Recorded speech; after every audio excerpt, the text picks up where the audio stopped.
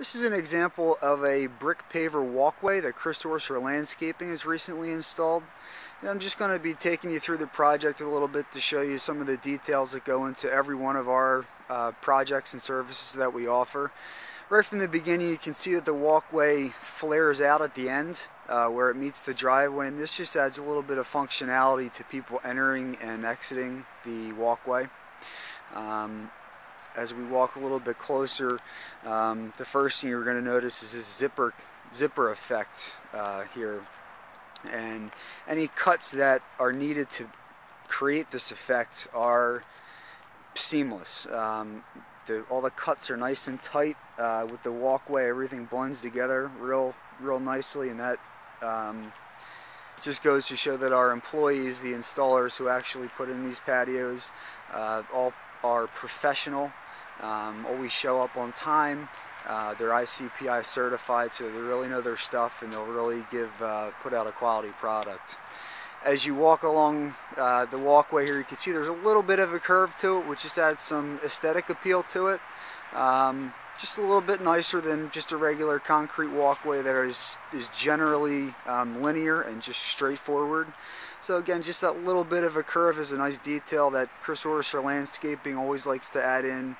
Um, give you a nice little detail, and as we walk up here uh, to the end, to the front door, you're going to see that zippered effect here again. And again, all the cuts are really nice and tight and they fit just real well uh, with the patio. Um, the soldier course along the edge of the walkway just kind of helps to mark the edge of the walkway a little bit more, adding some interest.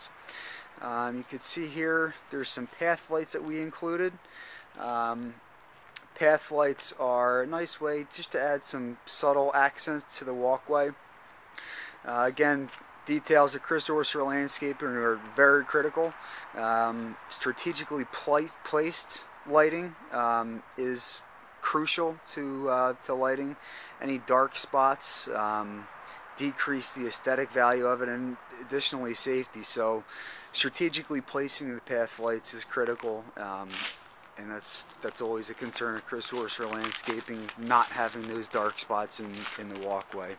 Um, and with lighting as well as pavers, um, essentially the sky's the limit in terms of color, design, patterns, textures.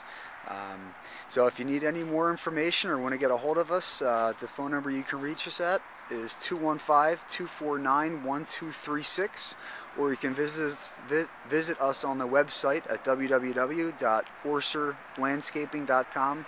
That's www.orser, landscaping.com and you could see uh, similar projects and again you can call 215-249-1236.